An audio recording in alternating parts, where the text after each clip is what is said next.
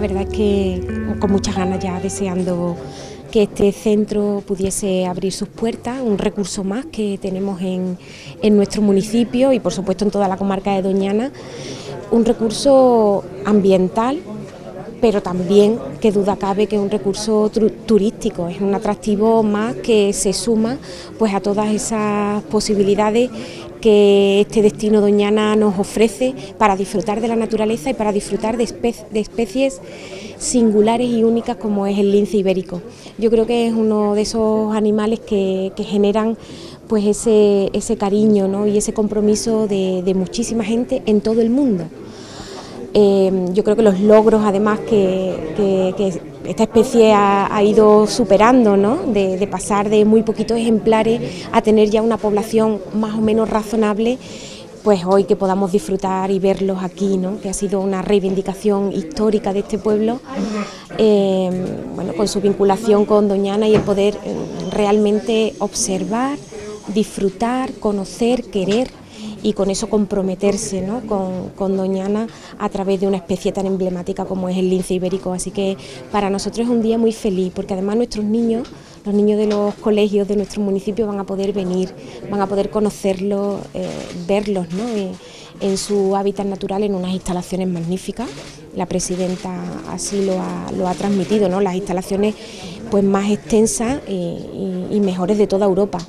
Eso es un orgullo para nosotros como, municipio y por supuesto estamos deseando primero que nuestro pueblo lo conozca, venga, lo, pueda disfrutar y desde luego a todas aquellas personas, turistas, visitantes que vienen a, nuestro municipio que, accedan aquí porque desde luego es algo único que se van a llevar y, yo creo que merece la pena.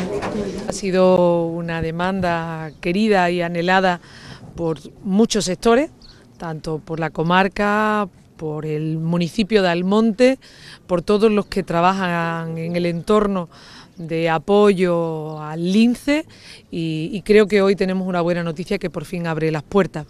Hay tres elementos en los que va a colaborar y de manera importante, por un lado el conocimiento en nuestros centros educativos y nos va a acompañar el Colegio Público Doñana para que los niños y niñas de nuestros centros educativos puedan venir aquí y vean cómo se desarrolla eh, su hábitat el lince, en segundo lugar, nos va a permitir que aquella, aquellos linces que ya no están aptos para la reproducción puedan tener un entorno donde desarrollarse y seguir teniendo su vida, su hábitat eh, normalizado, y será aquí también. Y en tercer lugar, en seguir colaborando en esa tarea que tenemos por parte de la Junta de Andalucía de seguir reproduciendo nuestra especie, una especie que ha pasado desde el año 2002 de contar con 94 ejemplares en el conjunto de Andalucía a tener en estos momentos 448 solo en Andalucía. A eso hay que sumarle los 145 del resto de la península ibérica y eso significa que el trabajo que se ha hecho en estos años ha sido un trabajo importante, reconocido a nivel internacional porque creo que los resultados están ahí y sobre todo haciéndolo desde el respeto absoluto al entorno donde han venido desarrollándose ese programa. La inversión de este observatorio está en torno a los 200.000 euros y como decía eh, va a permitir acercarlo en el ámbito educativo, un atractivo turístico más que venía siendo eh, demandado y en tercer lugar ayudar a esa recuperación de una especie para nosotros eh, querida y además mimada. Sé que estos días ha habido algunos, algunos eh, se ha puesto en valor los elementos negativos, por ejemplo, en esos puntos negros de accidentes que sufre el lince, pero también son como consecuencia de que está expandiéndose, ampliando eh, su entorno, el número de ejemplares hacen que aumente también el espacio donde se desarrollan y todo eso nos, obliga a también nosotros ir reconsiderando eh, cuáles son los elementos donde hay que intervenir. Y entre otras cosas, hay que intervenir en la red de carreteras y, se ha firmado recientemente un acuerdo entre la, Consejería y el propio Ministerio de Fomento para que también el Gobierno actúe en las carreteras que son competencia del Estado y que ya hoy suponen un peligro porque, insisto, ha aumentado el número de ejemplares y ellos también han ampliado su radio de expansión donde se están desarrollando. Mm, ¿Preguntas? ¿Qué me queréis hacer? Presidenta, Venga. Pues, Yo quería preguntarle por las últimas novedades en cuanto a Y ahora quiero yo informar eso, venga, vale. Vale, pues en principio eso era... Pues mire, en el día de hoy eh, le, le he hecho llegar al presidente del Gobierno una solicitud para mantener una reunión de manera inmediata y urgente para abordar el acuerdo que en el Parlamento de Andalucía se ha suscrito por parte de toda los, de la inmensa mayoría de los partidos políticos, como saben, y además comunicaré a los grupos parlamentarios los temas que voy a abordar junto con la financiación autonómica, la necesidad de infraestructura que tiene Andalucía y después, una vez que se produzca esa reunión, también el contenido de la misma. Vamos a iniciar a lo largo de esta semana también otra reunión con todos los agentes sociales, económicos de Andalucía que han apoyado en esa elaboración del documento, del informe que aprobó el Parlamento para abordar la financiación autonómica. Lo haré a partir del próximo miércoles, iniciándolo con la patronal y con los sindicatos, como lo hice eh, al inicio de este proceso. Y yo espero que la reunión con el presidente del Gobierno pues, recoja un documento que es bueno, que abre un camino de entendimiento eh, para mejorar algo que ya nadie hoy niega, que Andalucía está mal financiada y está maltratada en esa aplicación del modelo de financiación y al mismo tiempo inversiones que son fundamentales para nuestra generación de riqueza y creación de empleo. Presidenta, sobre, bueno, estamos a lunes, no sé si ya datos turísticos de la Semana Santa en Andalucía. Sí, mire, en primer lugar, eh, les tengo que confesar que andábamos con preocupación, ¿eh? Porque tres semanas de temporal, de un temporal que se llevó por delante muchas de nuestras playas, eh, eso provocó muchas cancelaciones eh, ante el riesgo de agua y afortunadamente estamos muy por encima de las previsiones turísticas que teníamos al inicio al inicio de, la propia semana.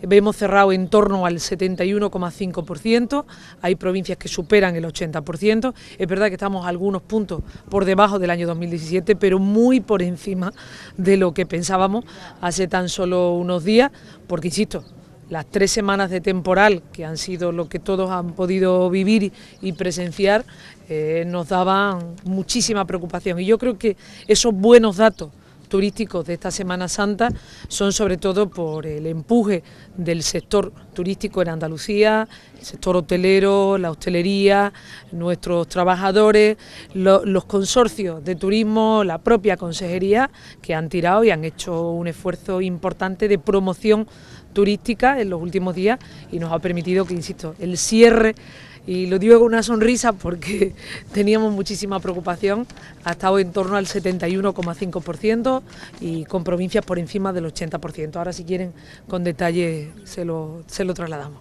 Yo ya también por último quería preguntarle pues sobre un posible adelanto electoral que publican hoy algunos medios digitales. Que no tenemos tiempo para eso, que aquí lo que hay que hacer es trabajar, que este año es un año importante para la economía andaluza.